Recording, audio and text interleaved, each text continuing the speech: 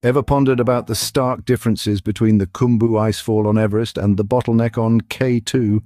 These two locations, while both breathtaking in their own right, offer unique challenges to mountaineers across the globe.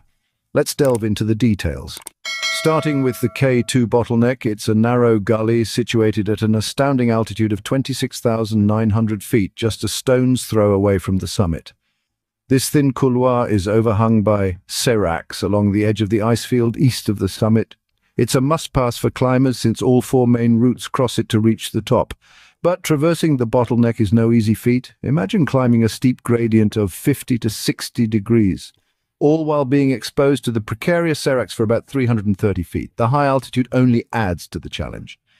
On the other hand, the Khumbu icefall, located at the foot of the western Suam on Everest, poses its own set of risks. This area, at 17,999 feet, is where the Khumbu Glacier rapidly recedes, leaving a two-and-a-half-mile-long icefall in its wake.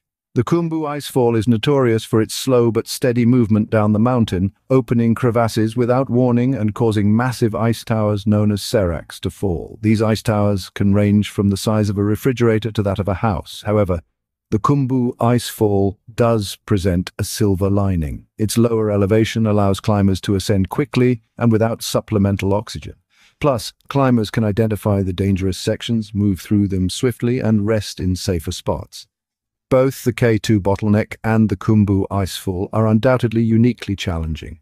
The bottleneck, with its high altitude and steep gradient, presents a more unmanageable risk for climbers. The Khumbu icefall, despite its lower altitude, is a treacherous terrain due to the constant movement of the glacier. However, its risks are somewhat more manageable as climbers can identify dangerous areas and move through them quickly. In conclusion, both the K2 bottleneck and the Khumbu icefall pose significant risks to climbers, each with their unique challenges and hazards.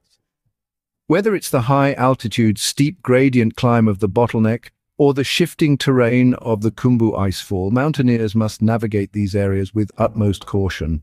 After all, in the world of mountaineering, preparation, knowledge, and respect for the mountain are the keys to a successful climb.